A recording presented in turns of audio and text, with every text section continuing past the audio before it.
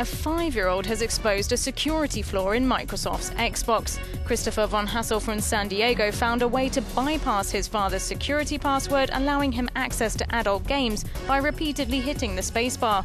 Microsoft has responded by fixing the bug and listing him as a security researcher on their website.